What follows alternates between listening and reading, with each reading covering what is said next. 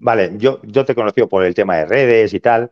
Eh, yo me acuerdo, y cosa que me choca, ¿no? Porque me, choca en el sentido por la situación, ¿eh? Te explico.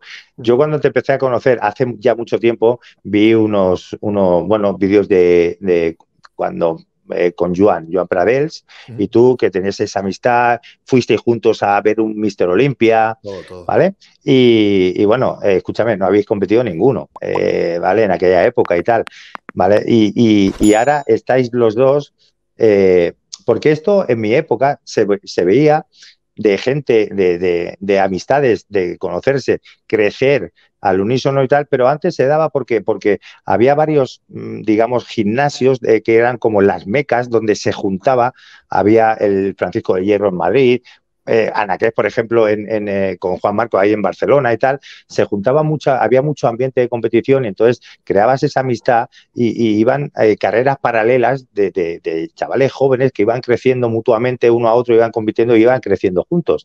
En este caso, vuestro caso me recordó un poco a eso, ¿no? De, de, mira, chavales apasionados que os gusta el culturismo, tal, vamos a ver el Olimpia y, mira dónde estáis ahora. Eh, eh, tú, en este caso, en aquel momento, ¿te pensaba que, que, ibais a llegar donde, donde habéis llegado? ¿Sabes qué es lo mejor? Que creo que los dos nos ha ido tan bien. Bueno, también, joder, creo que estamos bastante... Sí, sí, sí, escúchame, ya, ya lo puedes decir, Jorge, ya. Creo también, ya sea en temas redes sociales como en lo deportivo, porque ninguno de los dos, nuestro objetivo era, era competir o, ser el mejor.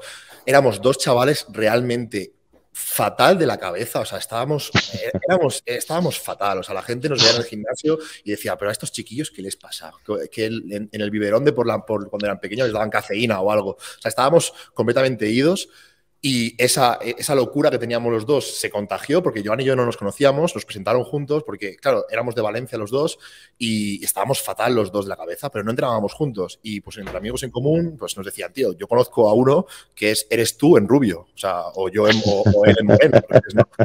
y, y, fue eso, eh, yo pienso que lo disfrutábamos, tío. Yo lo, o sea, no, yo es que aún me acuerdo y se me pone la piel de gallina. Eh, por desgracia, como con Joan ya nos hemos distanciado un poco. Yo me fui a Andorra, él se quedó en Valencia y cada uno ha hecho su carrera por separado. Al final, pues el no verse, el no hablar, pues sí que nos ha alejado un poco en tema amistad como tal. Pero yo le tengo un cariño tremendo por, tío, por lo que empezamos. O sea, te lo prometo, estábamos en, Estados Unidos, por ejemplo, aquel viaje que comentas, y había gente 3.000 millones de veces más fuertes que nosotros, más musculados, más experimentados, igualmente nos miraban porque decían, pero ¿qué hacen estos chavales si he venido por la mañana? Están entrenando, vengo por la tarde, están entrenando, por la noche se van a hacer cardio. O sea, estábamos realmente idos y lo disfrutábamos muchísimo. O sea, bueno, y creo que lo seguimos disfrutando, porque yo le veo a él, lo sigue disfrutando, yo lo sé, sé que estoy disfrutándolo. Entonces, pienso que ha sido realmente la, la, gran baza que hemos tenido, que nunca hemos pensado, bueno, pues yo quiero ser el mejor Classic en, categoría y él quiero ser el mejor Open. Quizá ahora mismo, pues sí que tenemos más objetivos competitivos, pero por aquel entonces era en plan, tío, el gimnasio, vamos a entrar ahí, a esa zona de hierro, vamos a coger la barra, le metemos todos los discos que podamos y cuando no suba la barra, pues sabemos que este es nuestro peso, y ya está, y no sabemos que podemos más, pero ya está. Y luego las mancuernas, ¿cuáles son las más grandes? Las pillamos. ¿No la podemos levantar? Pues la de la izquierda. La podemos levantar, pero vamos por ellas, ¿sabes? Era, era, muy, era muy divertido, era muy divertido. Y creo que eso ha sido el punto más diferenciador, porque ahora lo que yo estoy viendo es que todo el mundo ya quiere empezar a, a ganar, ojo, que yo no digo que esto esté mal, ¿eh? para nada, pero a ganar dinero, ganar fama, ganar repercusión, ganar tal, ganar no sé qué. Nosotros, tío, éramos dos chavales que no teníamos ni redes sociales y estábamos fatal de la cabeza, o sea, pero fatal de la cabeza. Yo me acuerdo de entrenar seis, siete horas, tío, en el Dream Fit. No entrenamiento como tal, pues, obviamente no, pero estar en lo que es el gimnasio siete horas, dices, pero tú no tienes casa. Bueno, bueno, bueno, pero escucha, ahí, te digo yo, es que en un Griffith, entre que haces cola para esperar una máquina claro, también. Eso es el asunto, pero que yo me acuerdo que a mí me echaron del Dreamfit por comer tupper, porque yo entrenaba, comía tupper y, me, y volvía a entrenar. Era como, tío, vete a tu casa a comerte el tupper y yo qué sé, habla con tu madre, que tengas una relación con tus padres o algo, estudia, haz algo, ¿sabes? Creo que eso ha sido el aspecto más que nos ha diferenciado, que siempre lo hemos hecho porque realmente nos molaba, tío. O sea, nos molaba de verdad. Nos molaba pero, pero, pero Jorge, ahora te voy a decir una cosa. Aparte, aparte que en esos momentos, porque yo creo que, yo creo que todos los que estamos aquí hemos tenido esa, esa fase de juventud de que, eh, como tú dices, estaba Majara perdido. Y no, y no es que estemos majaras, es que somos unos puros apasionados. Mm. Una, una, hemos encontrado un terreno que nos ha apasionado tanto que, que, que, que bueno, eh, nos hemos centrado 100% en eso eh, porque estás disfrutando de eso. Yo creo que ese es el gran secreto. Y, a los dos os ha funcionado bien por, por, por, la pura pasión y la pura dedicación. Eh, sí, tú piensas que yo... Mm, pero sí, termina, termina, sí. No, no, no, no, era eso simplemente, que, que, que, es eso lo que yo creo que, que otras muchas facetas más, ¿no? Pero eso es lo que te hace llegar mm, realmente y estar donde estáis en este momento. A ver, está claro que obviamente tiene que acompañar, sobre todo para el tema de redes sociales, tienes que dar algo más. Por ejemplo, pues yo siempre me he caracterizado, pues yo sé, pues la mentalidad y que era pues un físico un poquito más estético y demás. Joan se ha caracterizado porque era como un tractor, la cogía la barra y la levantaba, era como una bestia y ahora se caracteriza por ser una masa viviente, o sea, es, bueno, es, es, tú, Paco, o sea, eres tú, eres, eres la O sea, es espectacular. Y también eso es cierto, pues que joder, ayuda. Ayuda el salir de la media, ¿no? Ayuda el pues, ser IFB Pro, ayuda el que te vaya bien en las competiciones, ayuda el que el físico vaya respondiendo.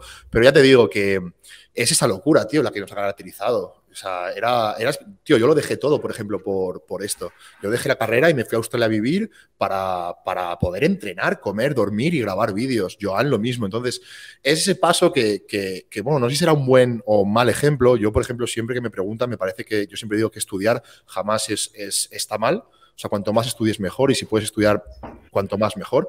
Pero es cierto que nosotros apostamos todos por, por lo que tú dices, por nuestra pasión y, y por suerte nos salió bien, tío. Si yo te contas historias que he vivido con Joan, tío, sería, es que podría estar todo el día, podría estar todo el día en Las Vegas tirados porque no teníamos casa, era una locura, tío, era una locura, pero queríamos estar ahí, queríamos vivir la experiencia, pero claro, joder, ahora tanto Joan como a mí, pues económicamente no lo podemos permitir. En aquel entonces nos gastábamos todos nuestros ahorros, tío. Yo trabajaba en Londres de camarero y de fregaplatos y todos mis ahorros se iban a, a, ir al Mister Olympia o a irme a Australia a vivir, o sea, y Joan igual, era una pasada, era una pasada. Yo creo que ese, ese aspecto de ese chip tan, tan, tan cambiado fue lo que nos diferenció. Pero bueno, lo que tú dices, creo que si quieres ser el número uno en un deporte o si aspiras a serlo, tienes que estar fatal de la cabeza. Es imposible no, no estarlo.